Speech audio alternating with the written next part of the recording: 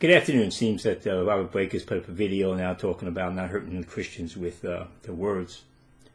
And we're going to see where this goes. But the first part, he starts talking here. He, he goes, I'm just going to follow the, what the Bible says. Just give you scriptures. Well, he didn't do that in the article. Dealing with the interracial. He, can he conflates interracial marriage with interheritage marriage, by the way, people. He's confusing heritage with race. People can be different races and share the same heritage.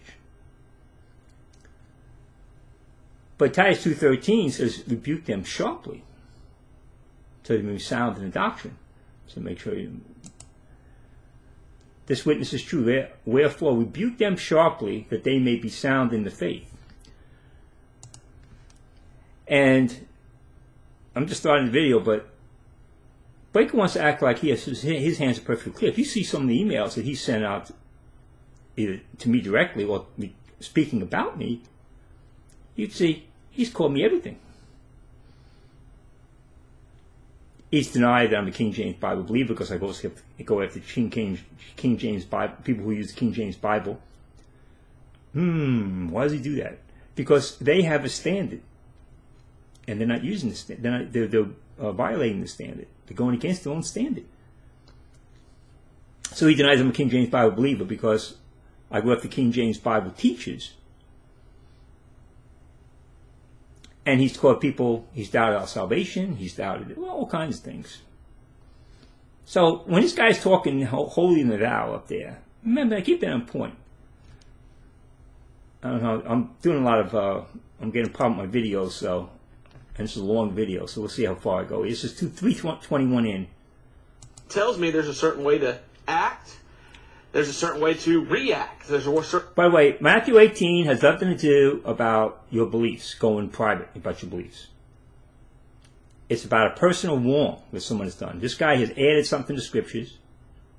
Titus 3.10, the same thing. He tries to add that in there, that you're supposed to go to heretic in private.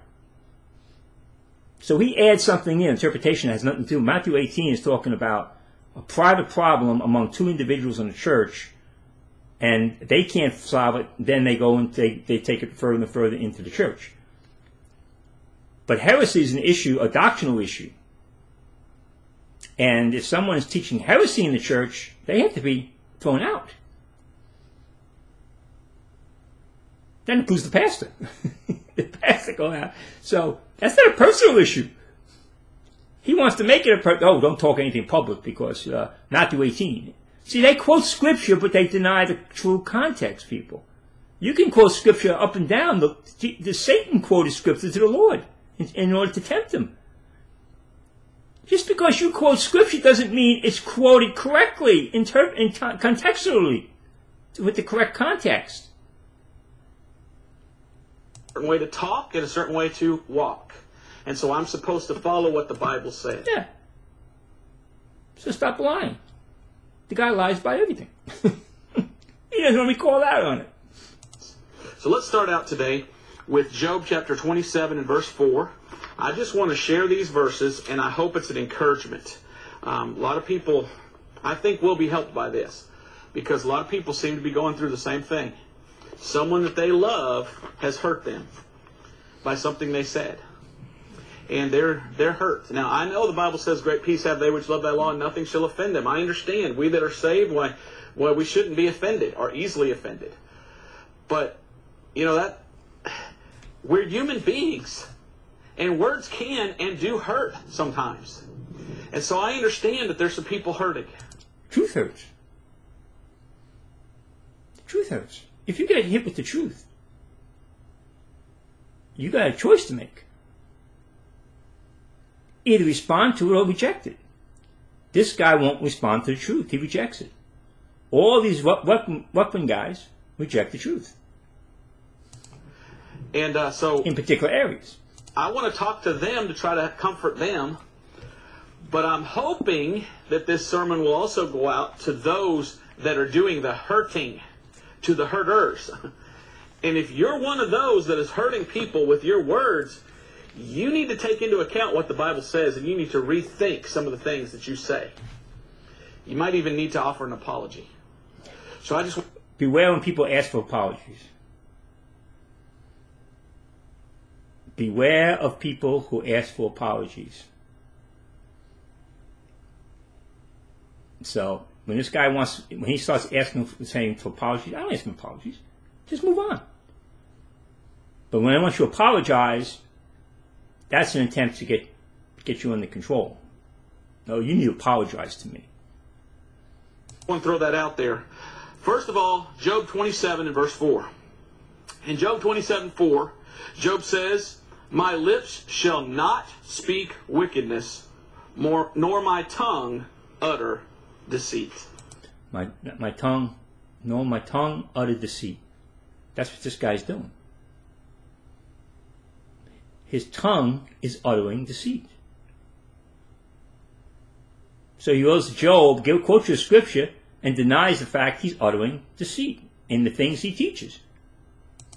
Because see, that's what faith works in the Old Testament is deceit. His article saying why he's against interracial marriage is deceit. You know the story of Job and what all Job went through, and boy, did he go through a lot.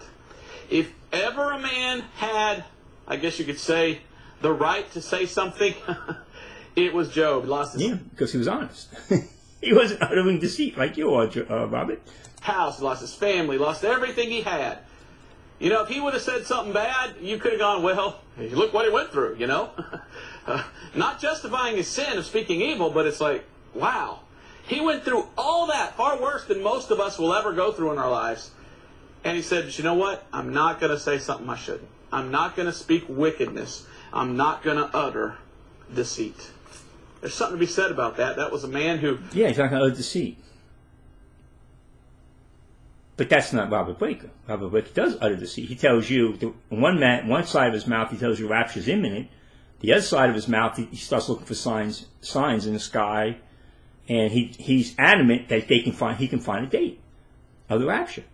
If the rapture is imminent, you can't find a date. You can't find a date because it's going to happen any day. wanted to do right, and he saw that it would be wrong to say something deceitful and wicked. So he said, I'm going to keep my mouth. He said, I'm going to be keep quiet. Let's go to another verse. Let's go to Psalms 34. Now, it's interesting to me, and I recommend when people are suffering, when people are going through things, I recommend, hey, go to the Psalms. The book of Psalms is Old Testament, sure, we understand that. But it's also a, a book that really is for comfort. Because a lot of times you have David in the Old Testament in the book of Psalms talking about this guy's my enemy and he's attacking me, and this guy's my enemy and he's hurting me, and this guy's my enemy and he said this about me. And it's all about, Lord, I trust you. Lord, protect David, a man by, saved by faith alone. Romans 4. Not faith in works. me from their lies. Lord, and, and it's a lot of people have told me, Brother Breaker, I went through some of the worst times of my life, and reading the Psalms gave me comfort.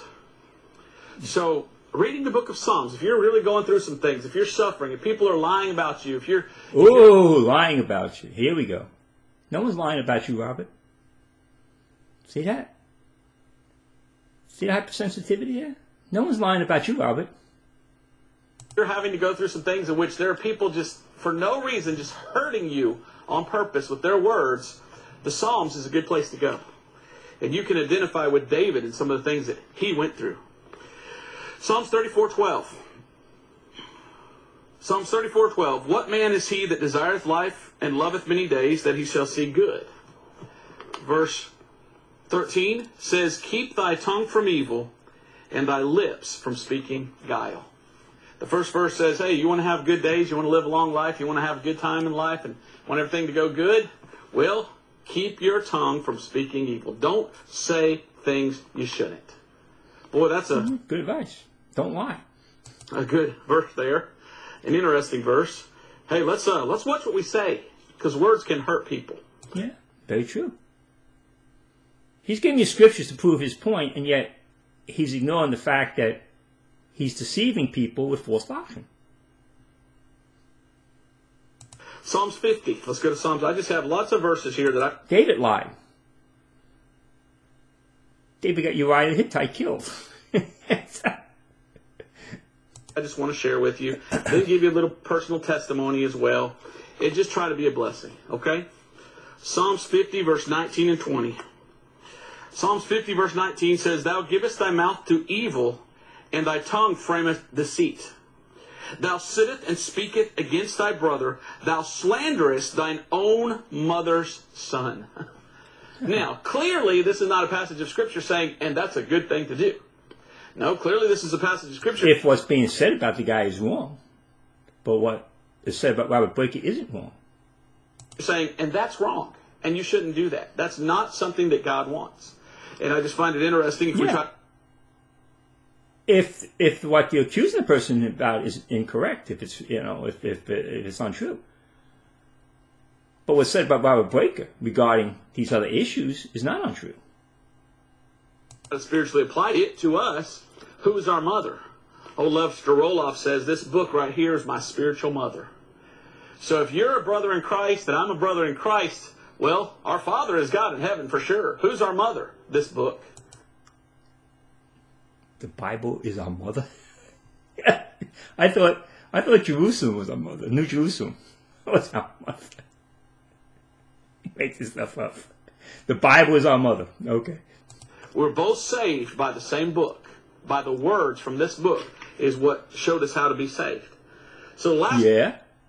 And we know how to read English, and that's why pastors are held and teachers are held to the same aspect of truth. You just can't say put out scripture and say believe those believe what I tell you, and ignore when a person says, "Well, that scripture's not saying what you're saying." Thing we should do if we've got the same spiritual mother, if we're both saved by the blood of Christ, the last thing we should do is lie about one another and evil speak and say things about If it's a lie, but what if you're saying the truth? Paul rebuked Peter, who was separating from the Gentiles. He rebuked him openly for doing so. He wasn't worried about his feelings. One another that are just wrong. We should not, as it says here in this passage, slander and give our mouths to evil to frame deceit. Shouldn't do it. Shouldn't do it. Psalm 64. Psalms chapter 64. And yet, what's sad to me is so many Christians do do it. See, here's assume what's said, said about him is slander.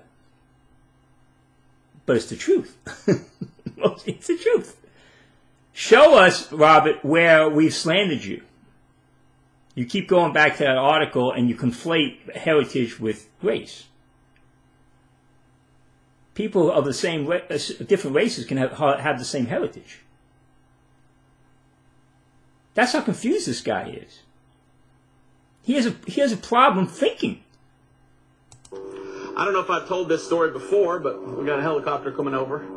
Where I live here in, in Florida, there's several helicopter fields, and uh, they they train all the time. So I don't know if that's too loud or not, but always seeing helicopters fly over.